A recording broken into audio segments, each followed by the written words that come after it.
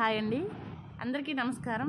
ఈరోజు మన వీడియో అమ్మాయి రజస్వల కాగానే ఇంట్లో ఉండే పెద్దవారు ఈ విధంగా పాట పాడుతూ వచ్చిన వారందరికీ కూడా తెలియజేస్తూ ఉంటారనమాట ఏ రోజుల్లో పెద్ద మనిషి అయితే మంచిది అలాగే ఏ వారంలో పెద్ద మనిషి అయితే మంచిది అనేది పాట రూపంలో తెలియజేసేవారు.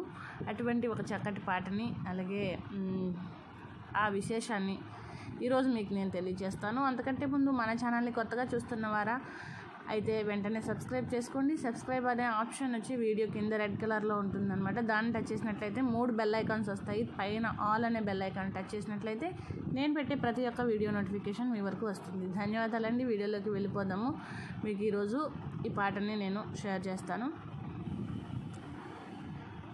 ఆదివారం నాడైతే అతివరోగిష్టి. సోమవారం నాడైతే పతివ్రత అవును. మంగళవారం నాడైతే మగువకు చింత.